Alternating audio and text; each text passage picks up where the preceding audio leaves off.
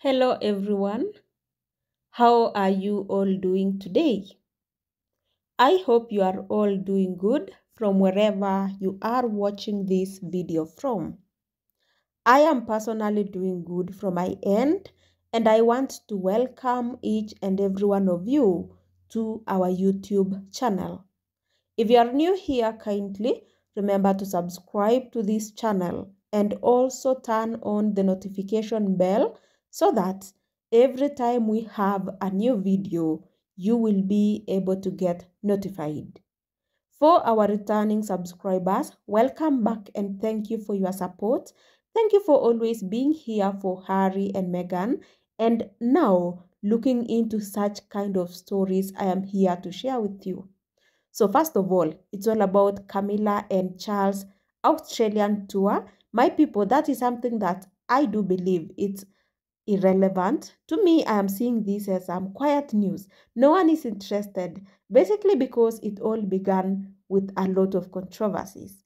Anyway, my people, why am I here for the same?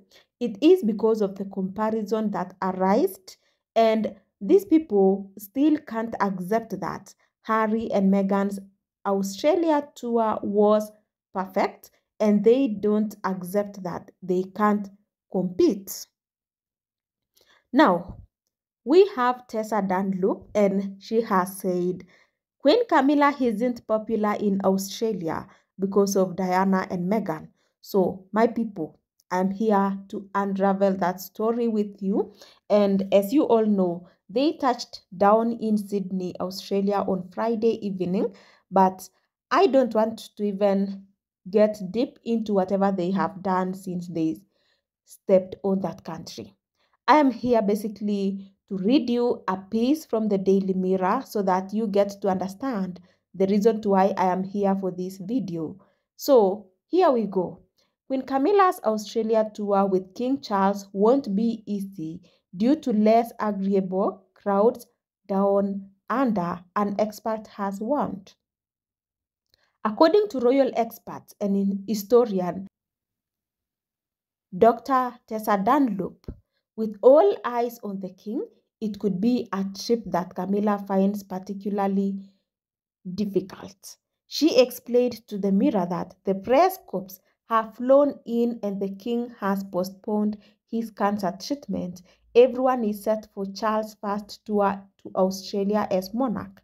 Headlines have been full of it the political snubs from Australians' premiers to the pared down itinerary and absence of walkabouts.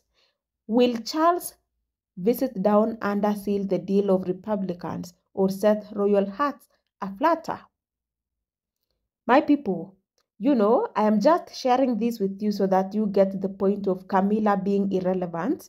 And now, first of all, before I even refer to Tessa Dunlop's message, I want to say Camilla isn't relevant at all not even because of any other thing, but because of the racism she has.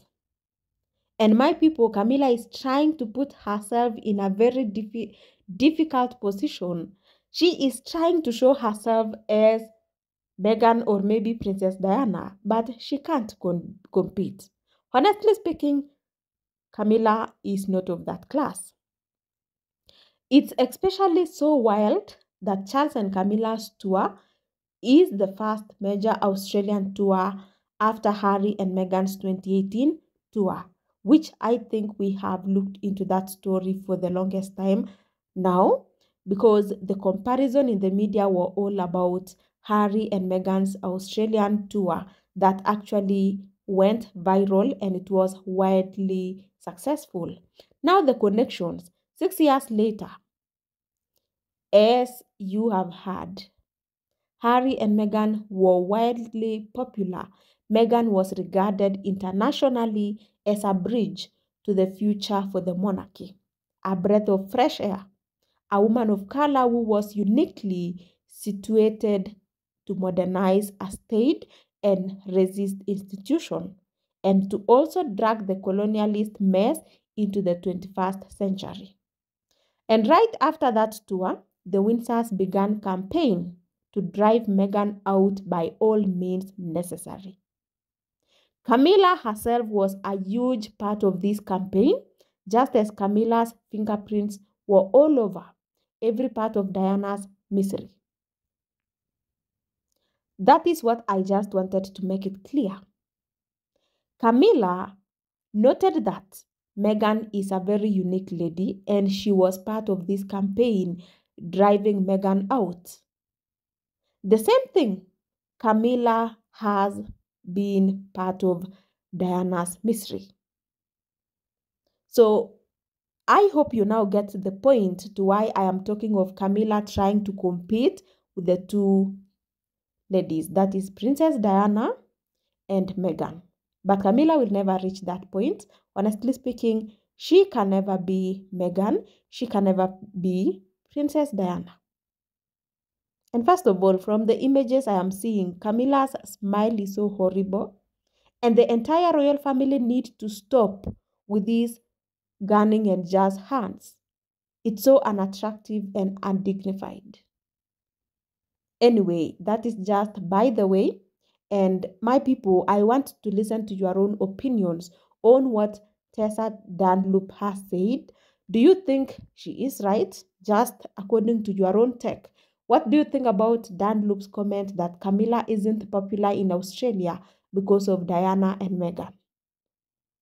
For me, I took that statement differently. I understood it differently that, you know what, Camilla isn't popular in Australia because of the dirty work known of and comparing her to Diana and Meghan, it's totally different. That is according to my own take, and I will stand by that because what I know is that Camilla is trying to compete, but she will never reach the level that Meghan and Princess Diana reached. Kindly let me know what you think about the entire story in the comment section. You know, it's becoming tough for Camilla and the King in Australia. I'll actually update you on anything that will come up, but personally, I didn't want to focus on the same because there is nothing interesting at the end of the day. That is all about today's video. So my people kindly comment on what you think about tessa dunlop's statement and tell me how you understood that. Tell me what you think about it. It would be so nice. Thank you my people for watching up to this particular point. Before the end of this video i urge all of you to consider subscribing if you haven't done so and please like this particular video also share the link with your friends and family so that we grow to a bigger one. Always here for such kind of updates. Until next time, goodbye.